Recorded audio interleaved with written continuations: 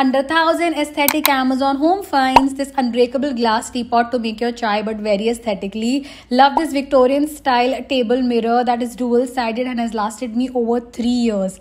Next up is this digital clock that shows you time, date, temperature and even sets your alarm. This set of strawberry mugs is literally straight out of Pinterest. How adorable is this radio shaped tissue box? Definitely grabs a lot of eyeballs.